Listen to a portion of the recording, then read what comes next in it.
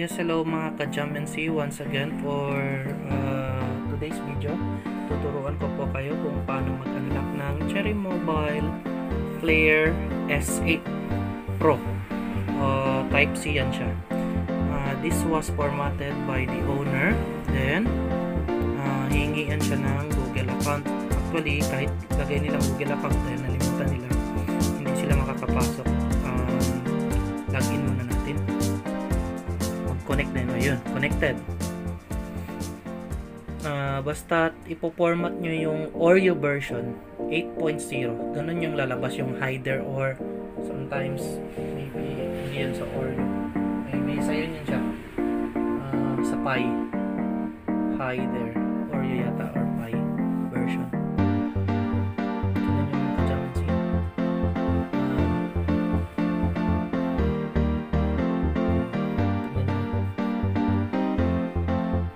need na mga tools no need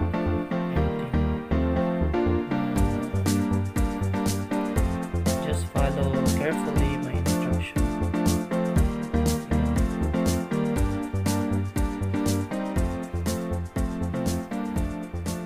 Don't copy. Don't copy. Then hingian siya ng pattern or use my Google account kung alam nyo yung Google account nyo, pwede lang mga kaibigan gamitin nyo. Tingnan nyo, walang skip button. Wala. Wala. Tingnan nyo, wala. Next natin. O red. Hindi nila alam yung Google account. Walang skip button din. Ang gagawin lang natin, simple lang. Uh, huwag nyong lagtaan yung video. You need to back, back, back. Dapat connected kayo sa wifi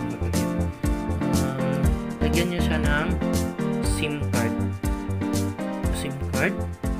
Then, connect natin ha. Uh, wait lang. Lagyan natin ng SIM card. Wait lang. Yun. Wait lang natin. Yun, lalabas yun dyan. SIM card.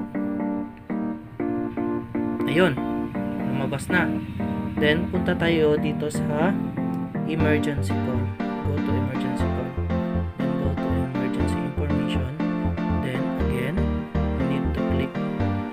Emergency information.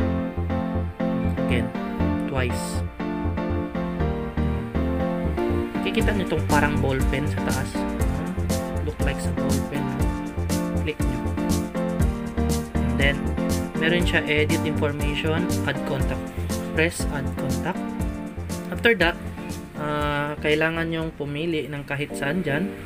Pindot na kayo kahit saan dyan. Any, any number. Ayun, may lumabas. Pindot nyo. Then, may lumabas. Mm, pindot nyo ito sa taas. Three buttons. Kita nyo mga kapatid.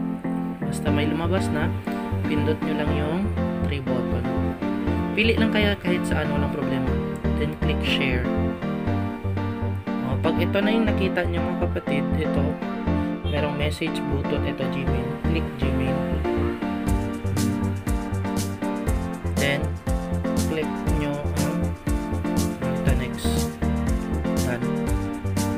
Then, take me to Gmail. Add an email address. Address. Yun. Just click others. Then, type anything. Anything. Then, lagyan nyo lang ng at. Tapos, gmail. Tapos, .com. Anything lang yan mga kapatid.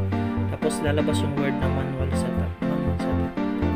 Then, pindot nyo yung three choices. POP P3, M, M, MAP, A, MAP, and exchange. Click exchange. Then, sa exchange, may makikita kayo sa right side, select. Then, click select. Then, set lock. Then, after that, you need to, you know, pattern ba siya or pin. Kung gusto nyo pattern, no problem. Gusto nyo ng pin, no problem. Uh, pattern na lang. Yes. Lagyan, click yes lagyan natin ng pattern letter L. Next. Then again to confirm letter L.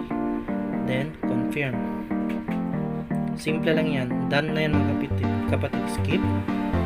Skip anyway. Then cancel. Then back na lang. Back. Back. Back. Back. Back. Back. Back. Back. Back. Then start nyo again start. Uh, pipili lang daw siya. Pwede nyo na i-remove ang sim card. Remove na natin yung sim. Hmm.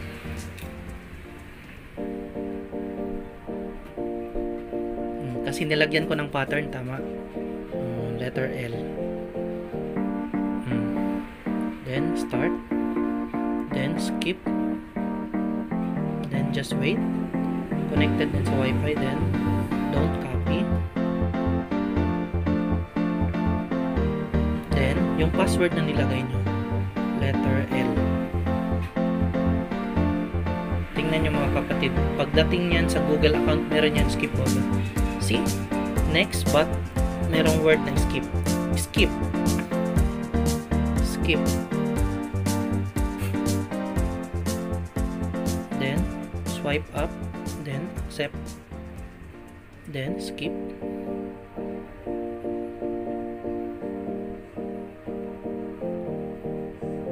Good. Then go to settings. Then go to security. Then go to screen lock. Then put your letter L na pattern. Then none yes remove see? I-off ko balik ko. Done mga kapatid.